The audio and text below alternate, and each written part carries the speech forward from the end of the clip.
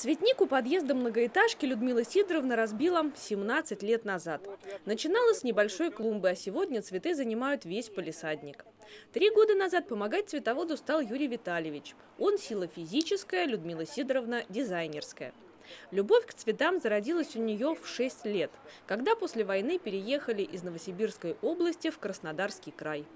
Купили дом, а во двор, в сад упала большая бомба. И там вот, вот такой вот величины угу. воронка. И она как выбросила землю, глина кругом. Земли не было. А у соседей сад, вот эти цветы всякие. Я как к заборчику встала и так и стояла. И Алексеевна, бабушка, она говорит, тебе это нравится? Да, нравится мне очень. Цветы я не отходила. Она мне объяснила, что где можно взять землю, если мама мне даст кусочек земли. И я все лето ведерочком таскала землю, натаскала, надала цветочки, посадили эти цветочки, выросли, и потом у меня уже хорошая грядка была. А мама через два года, что ли, три, решила на моих цветах, говорит, освобождай, я посажу лук. Угу. Со мной там, конечно, была истерика, я так кричала, что Алексеевна бежала со всех ног, что случилось. Но я показывала пальцем на грядку, и она поняла, что, ну, она моей маме говорит, Анна Михайловна, этого делать нельзя. Это живые существа, как же она их выбросит? Отрада в цветах и по сей день. Сегодня помогают и соседям. Кто принесет сдачи цветы, кто купит специально для посадки у подъезда. Есть, правда, и те, кто нет-нет, да и выкопает лилию с клумбы.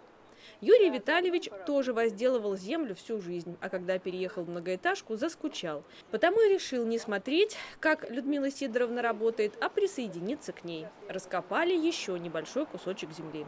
Три часа вот копал. Камена, ну лопату невозможно. Я как в изюминке выковыривал это самое, вот так вот. вот. Все это выковыривал, кидал, потом вот часть только малень, маленько, она говорит, оставим, чтобы горку делать эти вниз подкладывать. Альпийская горка – следующая дизайнерская задумка цветоводов-любителей. Но уже в этом году им вполне можно подать заявку на конкурс цветников, что проводит администрация округа. Заявки принимаются до 15 июля. Пять номинаций. Среди них «Цветущий двор» и «Лучший цветник-полисадник». Итоги конкурса подведут в конце лета. Оксана Мирошникова, Михаил Кирсанов. Программа «События».